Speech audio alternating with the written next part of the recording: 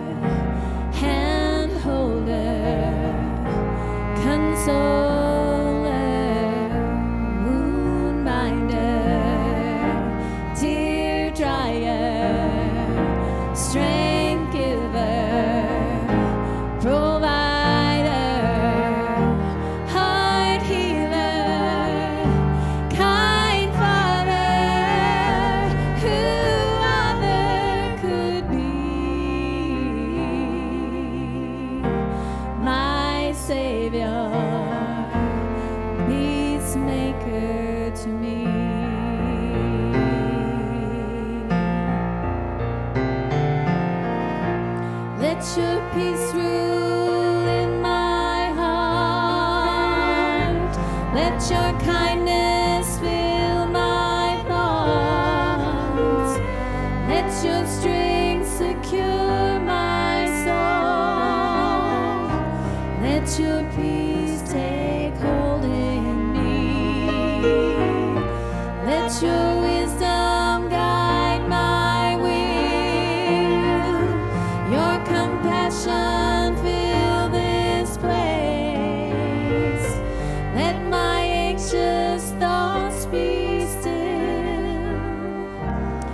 to be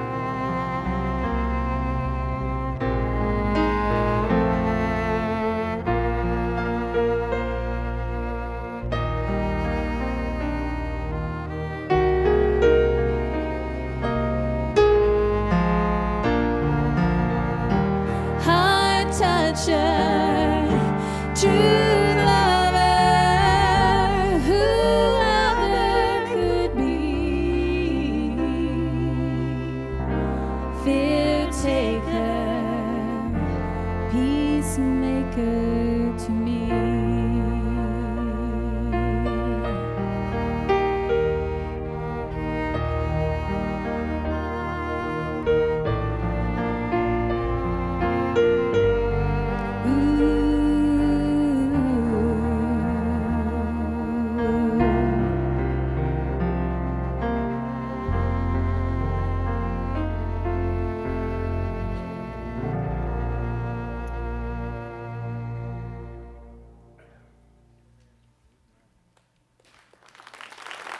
Purpose in unity.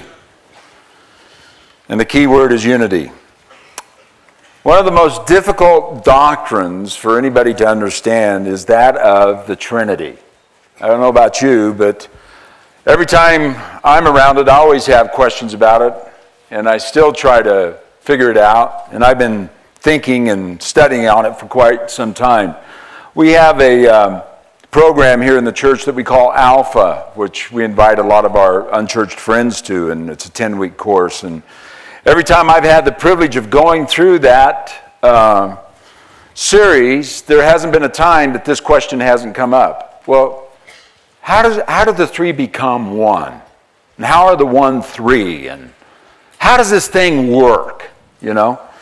And I think sometimes through our feeble attempts to try and explain what the Trinity is, we actually confuse people more than we actually help them in understanding. But it is a difficult one for us to understand. Elohim is a word and a name that is given to God in the Old Testament, which really means a plural pronoun for God.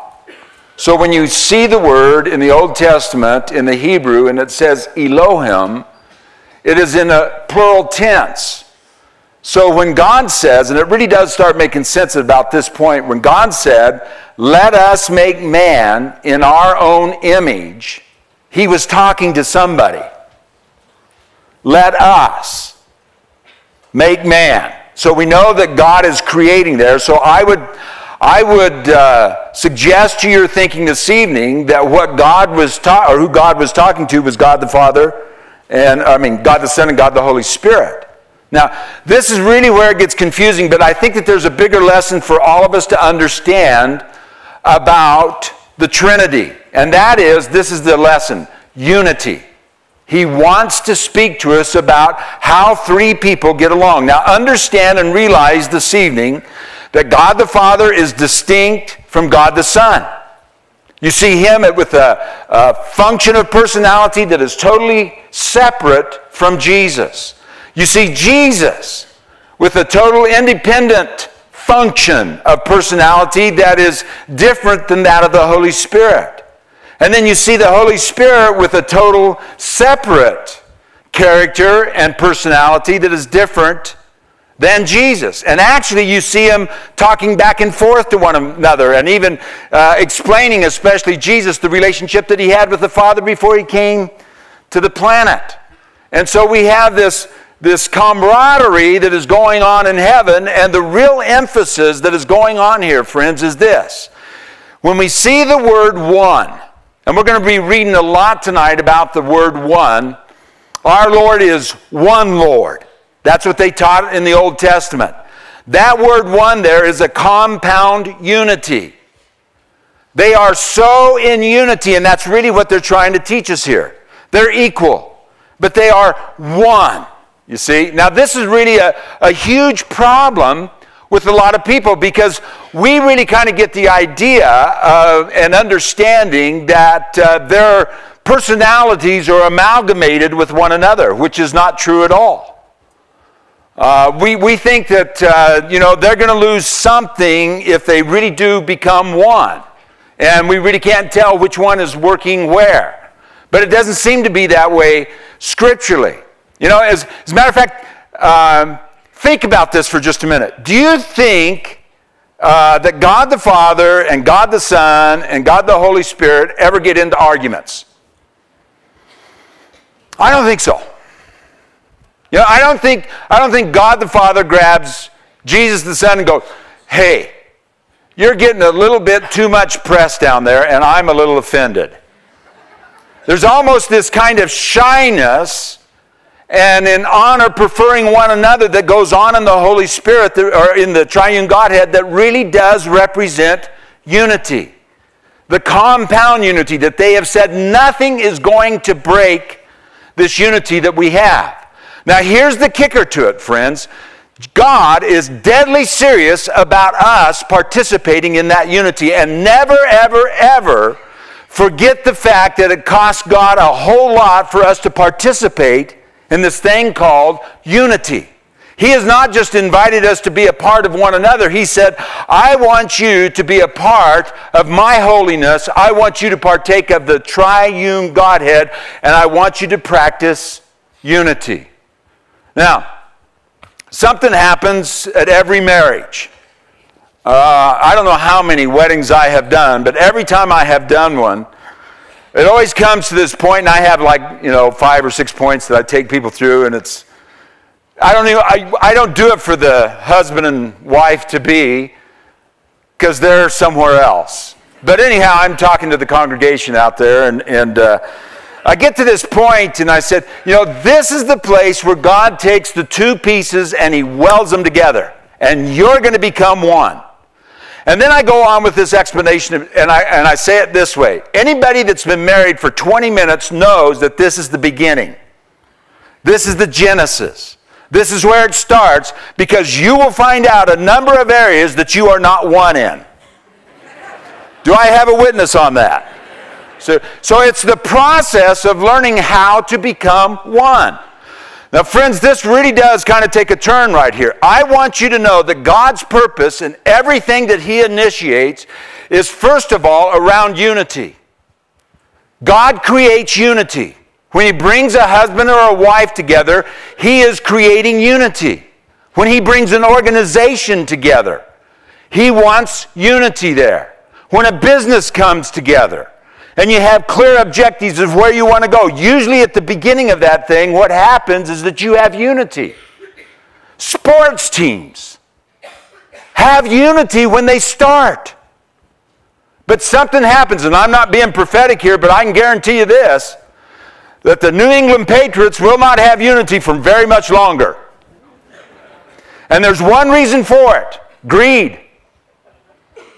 You know, and other opportunities that will come along, and what happens is it splits. Now, think about this, friends. Everybody that comes together in holy matrimony, there is something that is aimed at your life, and that is to separate you from one another.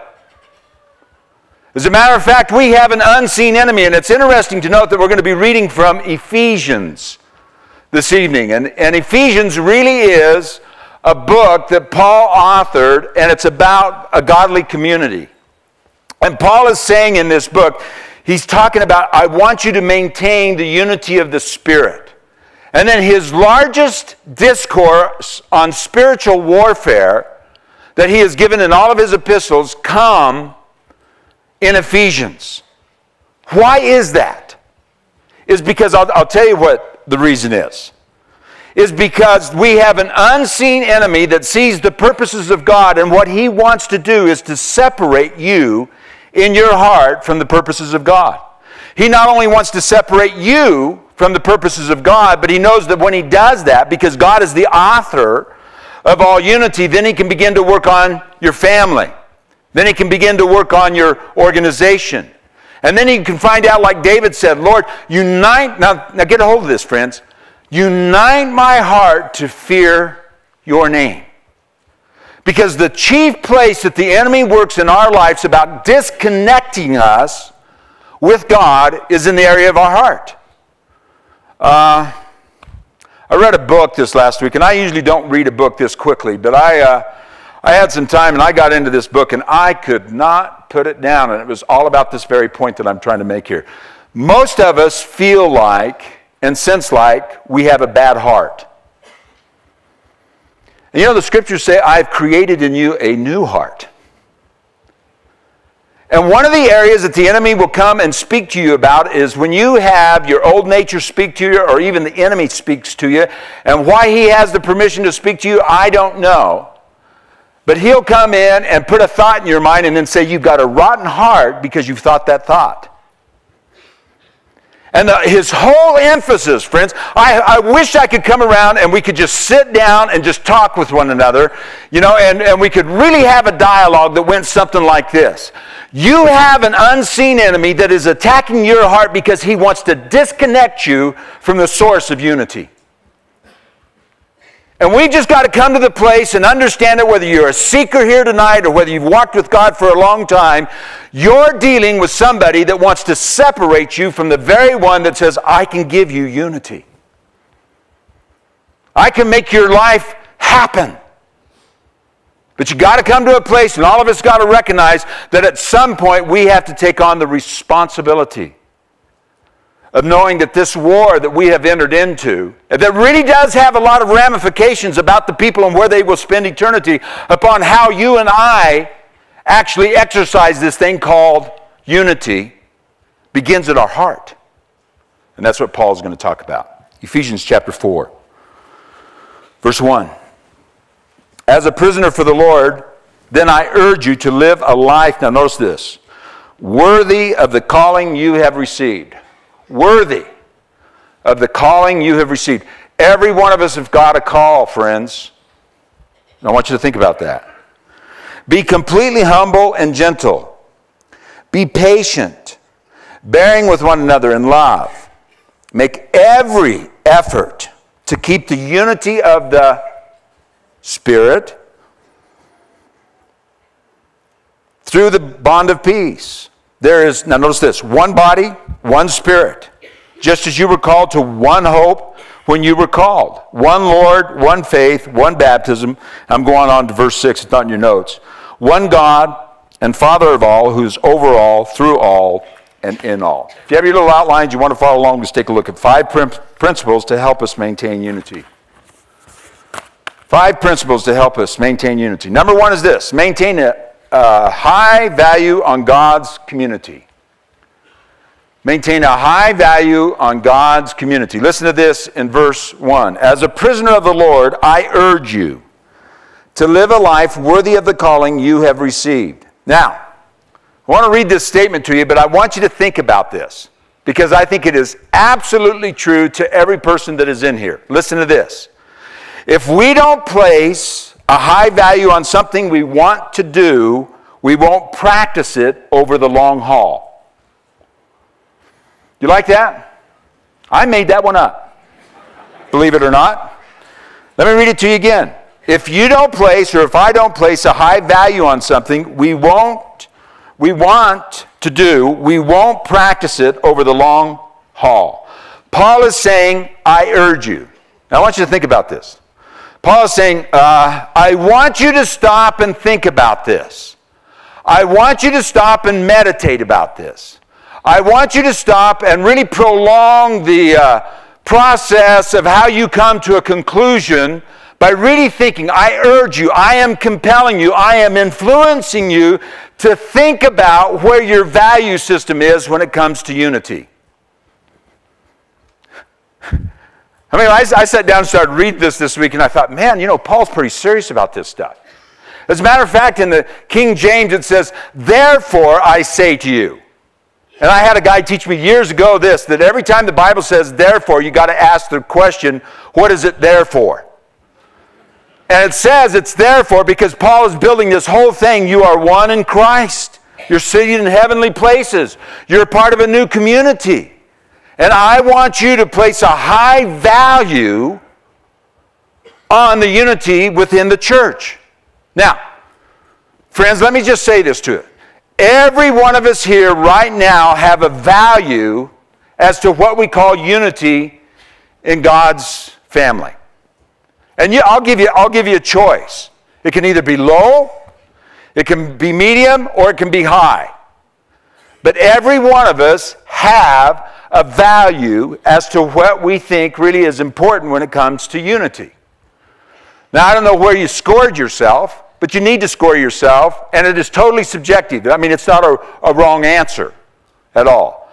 But I can almost guarantee you where about 95% of us landed in that little exercise there between, you know, low, medium, and high. And you know where it would be? Medium. You know why? Because that's human nature. You know what? And it's not good biblically. I don't know about you, but a scripture comes to my mind. I wish that you were either hot or cold, but because you are lukewarm, you can finish the sentence. He doesn't like it well. So, so here comes the point. You know, what, what lever do I have in me that I can really throw on tonight that would say to me, I want to raise my value level when it comes to the unity of the church? I don't want, I don't want it to be low anymore. I don't want it to be me. I really want to be. What lever do you pull? I was reading a book. I've been reading a lot of books lately. It's nice not to preach. Shalane and Paul did a great job, and didn't they? Bless their hearts. And um, so I get to do a lot of reading. I'm, I'm reading this book, and this, this guy gives this example. And he's a very successful businessman. And uh, his career is going along quite nicely. And uh, without really paying attention to his health, he finds out that he's put on about 50, 60 extra pounds. And he, and he goes to the doctor, and the doctor has a nice little talk with him and says, You know, you really got to start losing some weight because you are got, you're developing high blood pressure, you're on the verge of sugar diabetes, and uh, some really bad things are going to start happening to you unless you get a hold of this stress and start losing some weight. And he said, even knowing that this thing was going to uh, eventually kill me, he said, I couldn't find the motivation. I just couldn't find it to, to get myself up in the morning, to exercise and to eat correctly. And uh, am I talking? Well, anyway. And, uh, and so he said, one day my uh, son's, my, my five year old son's birthday came. And his son wrote him a letter with the help of his mother. And he said this to him uh, Daddy, for my birthday this year, I want you to be healthy. I want you to be around for a while. And he says, You know what? I found the value switch. I couldn't do it for myself. I couldn't do it because the doctor told me, but I could really do it because my family meant so much to me. And he said, I haven't had a problem in two years of getting out of the bed and working out and eating properly because I want to be around for my kid. Now, friends, I don't know what it's going to take in revelation of the Holy Spirit, but I want you to know there is a value that God has placed upon the unity within His body. And He says, I want you to find that.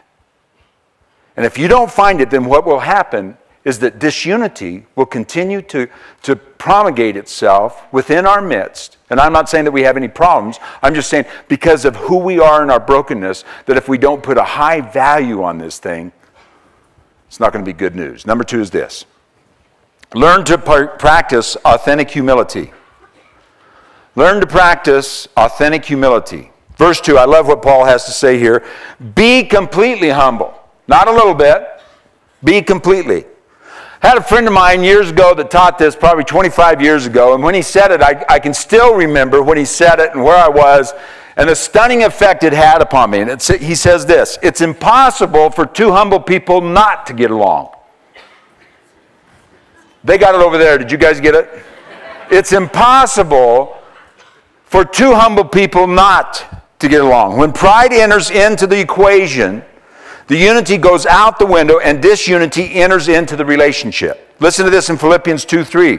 Do nothing out of selfish ambition. Let me just talk about selfish ambition here for a minute.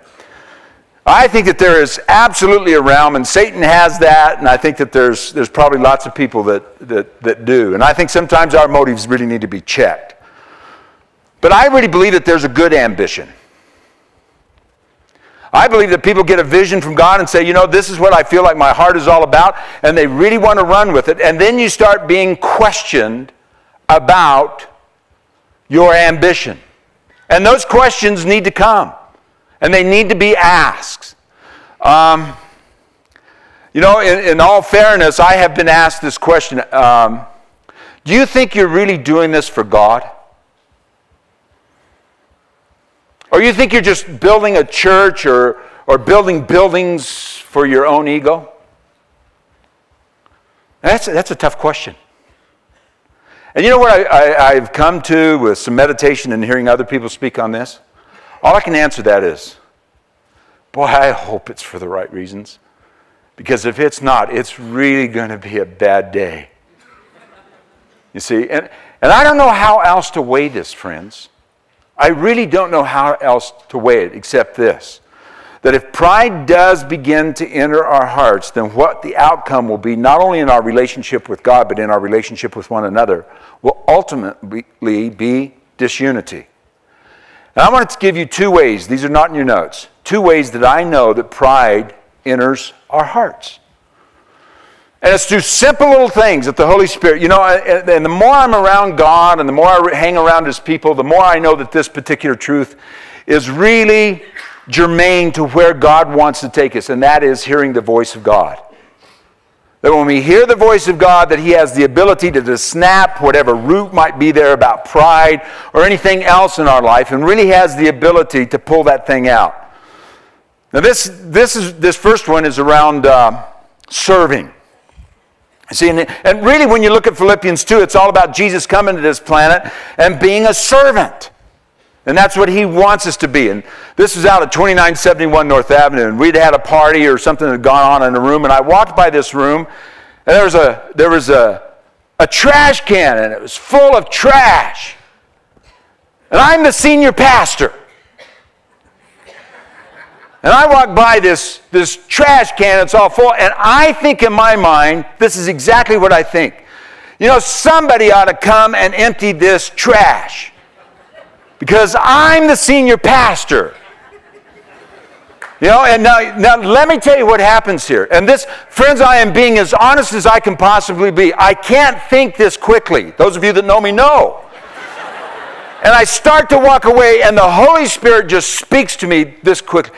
You think you're too important to take out the trust, uh, trash. And you know, this is really where this statement comes from. It's hard to play cards with somebody that holds the whole deck.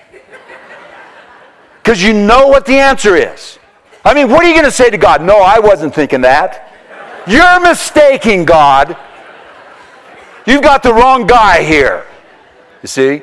I knew I was busted. And that's what happens to individuals lots of times that really does bring division because we look at something and say, that is beneath me. And pride begins to enter our hearts. I don't have to do that.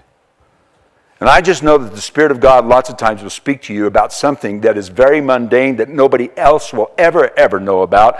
And He asks you to do it to test your servant heart. Second one is this.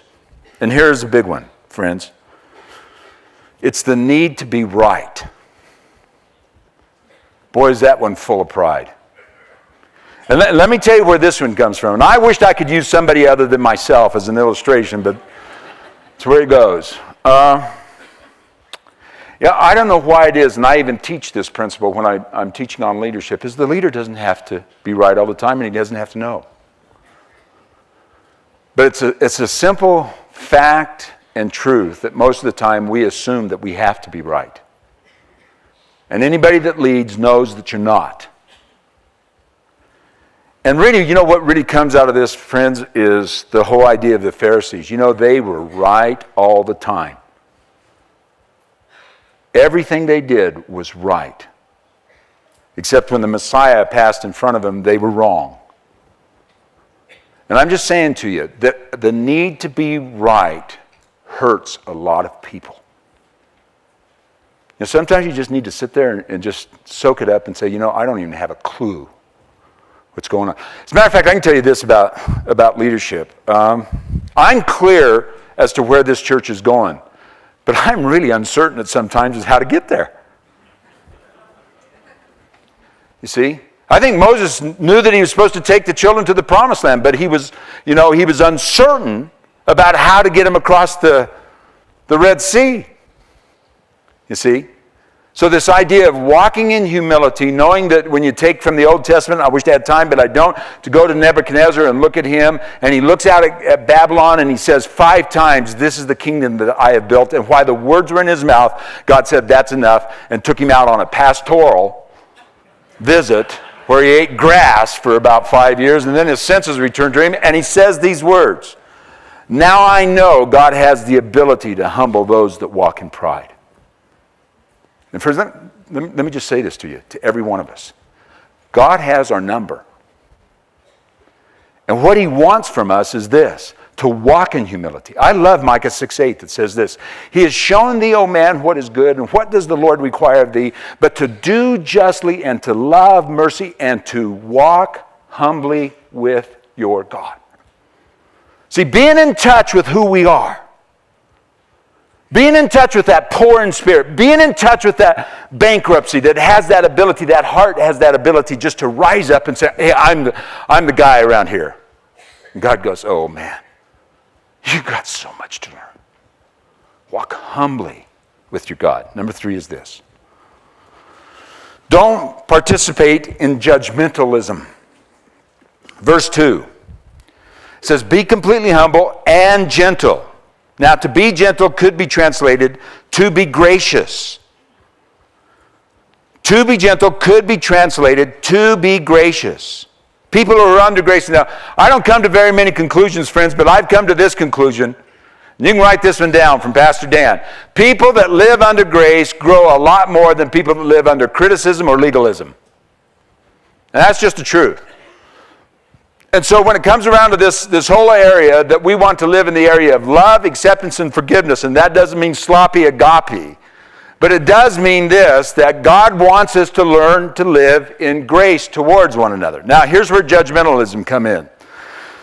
Uh, the opposite of being gracious is judging. Jesus taught, don't judge, which means, like when you read it there in, in the Sermon on the Mount, he says, do not judge. And yet he, he had the ability to discern, you know, of certain people that had uh, whitewashed tombs. You're like whitewashed tomb, and your, your insides are full of dead man's bones. I would say that that's a pretty good judgment. When she said, so what is he talking about there when he says do not judge? I'll tell you exactly what he's talking about.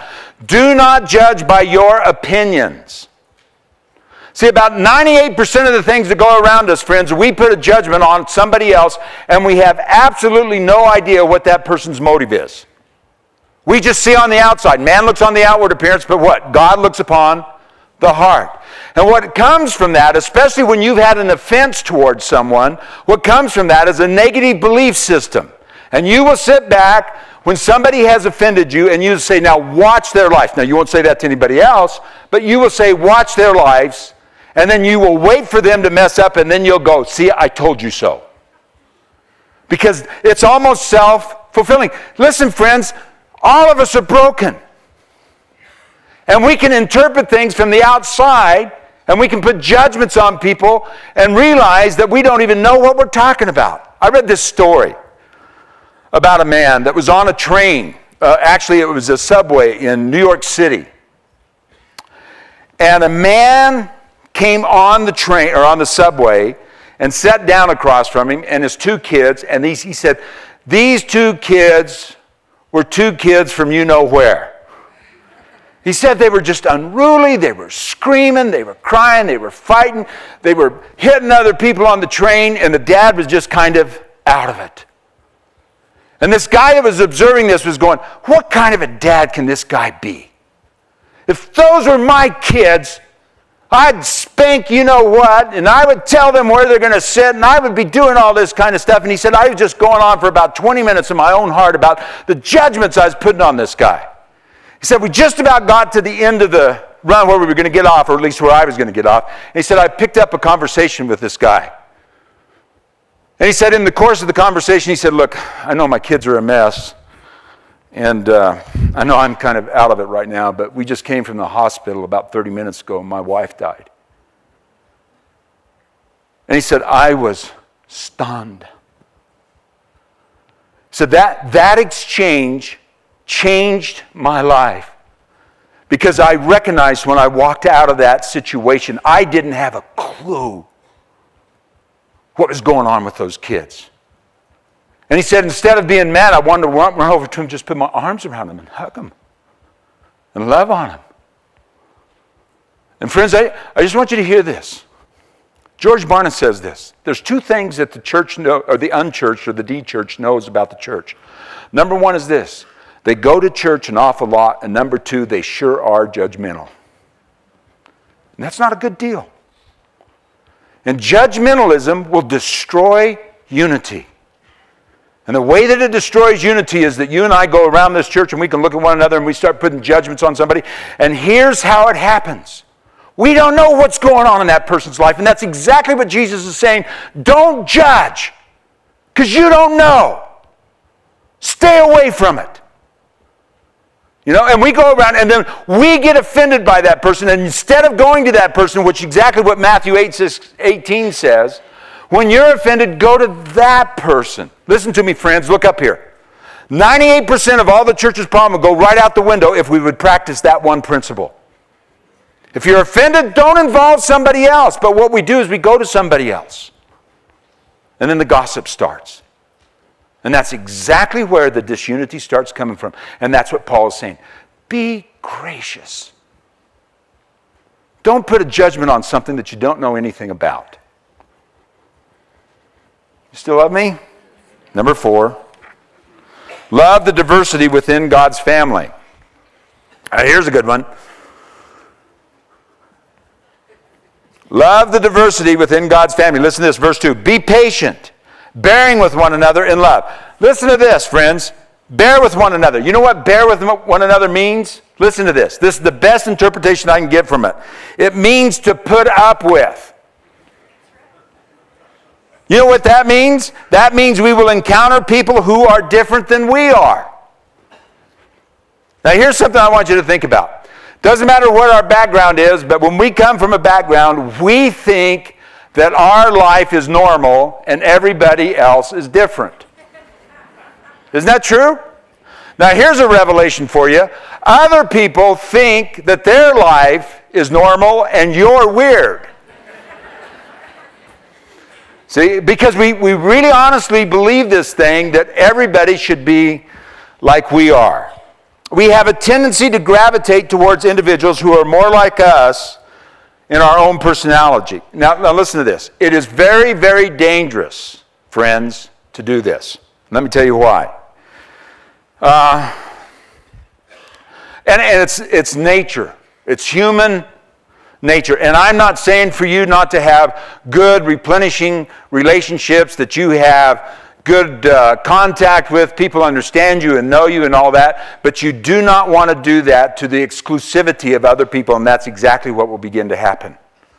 I don't like to be around these kind of people because it, it puts tension into the equation. They are different. I'm not on the same wavelength as them. And then what you'll find out is that you will detour yourself around this. And Paul is saying, don't do that. Learn to bear with one another. And here's the reason why. And the word tension, I really have thought about. The reason none of us want to be in tension is because it's stressful. It's not easy. And we are like water. We will follow the path of least resistance. Have you ever wondered why God put certain people in your path and you're supposed to be there with them? As a matter of fact, I had a, a, good pastor friend of mine teach me this, and he said, Dan, you will always have EGRs in your life. And I'm thinking, is that a character from ET and I missed it? What's EGRs? And you know what it stands for? Extra grace required. Extra grace required. And you think, see, if we're not careful, friends, here's exactly what we'll do. We'll try and navigate our, ourselves around those kind of relationships so we don't have to deal with them. And Paul says, bear with one another. Put up with it. Because it's actually in that tension that God actually expands our hearts to love people that are different than we are. And have you noticed in this place we're all different? And God says, I want you to love them all. Now, I want to take one, one step away from what I'm saying here, but I think you'll understand the analogy. Friends, there are tensions in our life that you need to have understanding on. And that's a part of being a disciple. And these classes that we've got coming up on Wednesday night are designed for you in some of those areas. And you know what will keep you out of those doors or out of these doors on Wednesday night? One word tension. Don't know if I want to deal with it. And we all have to deal with those areas that are uncomfortable in our lives. Um, I've only got one more point I only got about five more minutes, but I really want to say this. Uh, I've been doing a lot of study about Moses and his life. And I have found out something that is very true about Moses. Moses did not want to go into a situation where he was called by God because he knew who Pharaoh was and they knew who he was. And yet it seems to be that every time that God wanted to do something, he asked Moses to put himself in a very tense situation. And you know what happens out of those tense situations when we go ahead and, you know, uh, God says, No, I really want you to start a small group. Or I really want you to talk to this person. Or I really want you to come on Wednesday nights. Or I really want you to participate in this ministry or whatever it is. You know what our tendency is about that voice of God that speaks to us? That's going to cause tension in my life. I don't know if I want to do that. And yet it seems to be that it's at those points of tension, friends, that all of us grow and we see God's hand extended to us because we're willing to take a risk. I've been writing some things out. You know, it's, it's really beneficial to you that I take some time off. I get some really good thoughts. And I've just been writing down some of the values that, uh, that I believe this church is all about. And you know what the first value came to me was? Risk. Risk. And God, as long as you've got breath in your lungs, is going to ask you to risk it, to get out of your comfort zone. Now, thank God for the maces when they come along, and we have those maces, and we have those, those pit stops, and we have those places that we can really rest. But then God will say, It's time to move on. And what happens to us, friends, at those strategic moments, if we become acclimated too much around those situations, then when it, the call comes, we go, Ooh, I don't know if I want to leave the comfort. It feels so good here. It's like we find a hot tub, you know, and a massage, and it's just go, I don't think so. This is just about as good as I want to get. And God will just call us on. Just a thought. Number five. Believers are trusted to maintain the unity. Now, notice this, verse 3. Make every effort to keep the unity of the Spirit in the bond of peace. Make every effort. Notice here, now, friends, please understand this. Notice here, we are not to create the unity, but we are to maintain the unity. Did you notice that? We are not to create the unity, but we are to maintain the unity. This is a serious issue with God when it comes to keeping unity in his family. Listen to this in Proverbs 6 16 to 19. There are six things the Lord hates. Now, hate is a pretty strong word, isn't it? But it's saying these are the things that God hates. Seven that are detestable to him haughty eyes, a lying tongue, hands that shed innocent blood, a heart that devises wicked schemes, feet that are quick to rush to evil, a false witness who pours out lies. Now, notice this, and this is the last one a man who stirs up dis- dissension among his brothers. Spirit of God just says, I don't like that. Listen to this in 1 Corinthians 3 16 and 17. Don't you know that you yourselves are the temple and, the, and, and that God's Spirit lives in you? If anyone destroys God's temple, God will destroy him. For God's temple is sacred, and you are that temple. Now, uh, you know, that's pretty heavy words. And what is God saying that for? He's saying that, I think, for this, this very reason, is that He knows that our tendency in our heart is always to drift away from God, and He knows that that end of that particular kind of sequence in our life always leads to destruction in our lives.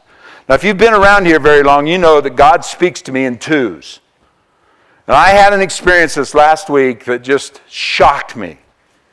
Um, we were down in Florida at a conference, and uh, at this conference, at the end of it, they sang this hymn Come, thou fount of every blessing. Now, friends, I don't think I have uh, sang this song five times in my life. And uh, as a matter of fact, worship team, you can come on up. Uh, so we're we're singing this song, and it's it's you know it's one of those old traditional hymns, and I'm kind of getting into it. And then it comes to this verse, and man, it just slays me. I mean, I'm just doing everything in my power because I don't know the people around me except the ones, Ron and Dave, and I'm going, oh God, I don't want to cry here. These people don't know me. And here's what it said Oh, to grace, how great a debtor. Daily I'm constrained to be. Let thy goodness like a fetter bind my wandering heart. Did you get that? Bind my wandering heart to thee. Prone to wander. Lord, I feel it. I know that's my heart. Prone to wonder.